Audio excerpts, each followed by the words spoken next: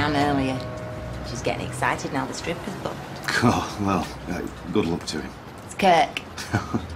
Right. How are you feeling? Me? Oh, you know, can't complain.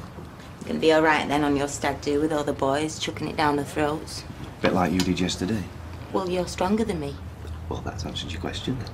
Peter, I've been such a cow. Ah, no, don't. You haven't. I have. She's my mate, and so are you. I'm just glad we got past it. Flattering and very tempting though it was. She'll make a brilliant wife. Better wife than I could ever be. And I'll find someone else a cushion. Yeah.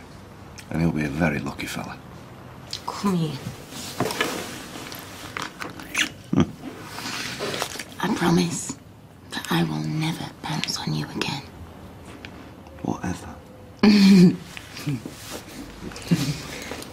And tomorrow I'll be your eyes and ears, and if she starts going mad with that squirty cream, I'll... Ah, it's okay, I trust her.